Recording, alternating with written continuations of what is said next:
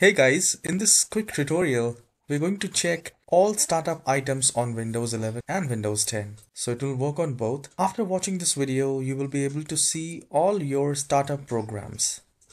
So here in the start icon, just do a right click and then go to settings. And at the left hand side, you will find apps. Even if you are using Windows 11 or Windows 10, you will have this apps option. So once you click on that, Windows 10 people will have one more window where you have this startup menu here at the left hand side. And in Windows 11, you will find the startup here. So once you click on that, you will find the whole list of applications which has which is there at the startup. And from here, you can turn it off at the startup. Now turning off from the startup doesn't mean you cannot use it. So you can use it whenever you want. So you can see I have disabled many startup items at the startup and whenever I want to use it, I can simply double click and open it.